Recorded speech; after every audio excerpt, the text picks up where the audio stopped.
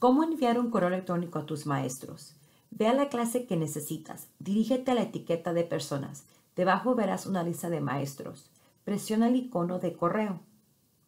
Te llevará a tu cuenta de Gmail. Desde aquí puedes escribir correo electrónico a tus maestros y presionar enviar.